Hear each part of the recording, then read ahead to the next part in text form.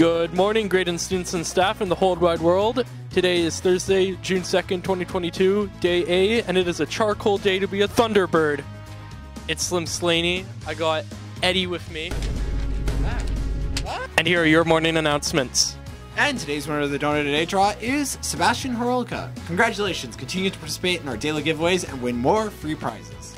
And today's winner of McTee Days is Sophie Dufault. Hey grad, Spirit Week might be coming to an end, but it's not over yet. Don't forget to dress up for Mathletes versus Athletes tomorrow. Let's see who will win. The annual Fernanda Salinas Sanchez Memorial 3 on 3 basketball tournament is happening on June 17th and 18th. The tournament is in memory of Fernanda, a former SHEP student and athlete who passed away in 2016. To register a team or for volunteer opportunities, visit www.fss3on3tournament.ca or the FSS3on3 Instagram. Registration closes on June 8th and is open to all skill levels, so be sure to get your teams in as soon as possible. June bus passes are now available for purchase up until June 8th.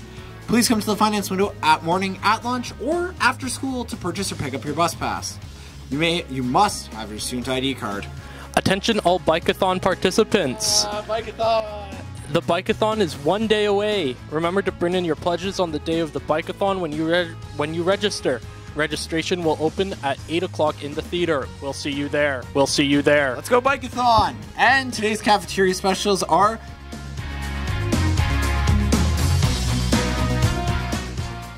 And when you have fantastic students and outstanding staff, you're gonna have a great stay. And that's because we are Shep! Have a great day, Chef!